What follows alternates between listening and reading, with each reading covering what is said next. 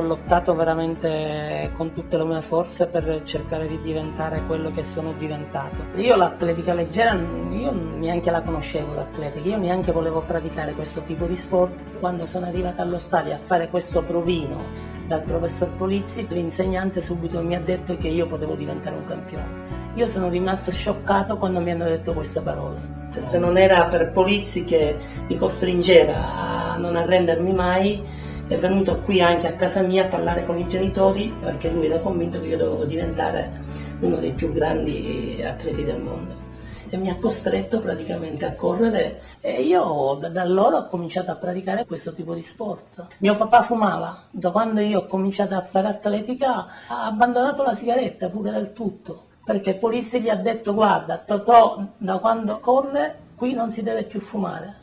È cambiata tutta a casa mia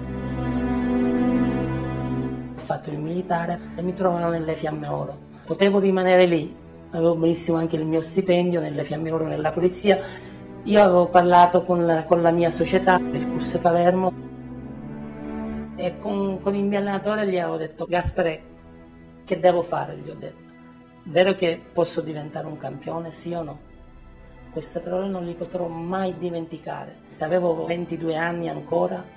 Totò, guarda, per me tu puoi rimanere anche lì, hai il tuo stipendio, è giusto come fanno tutti, resta lì, e avrai il tuo stipendio per tutta la tua vita. Per me rest- diventerai un campione e allora io ritornerò nel CUS Palermo dove sono nato, sono nato e sono cresciuto. Lei mi dice che io diventerò un campione e allora è giusto che io ritorno nel CUS Palermo dove io sono nato. Io non è che lo considero allenatore, io lo considero il mio secondo papà, resterà sempre il mio secondo papà per quello che ha fatto per me e per come mi ha cambiato la vita.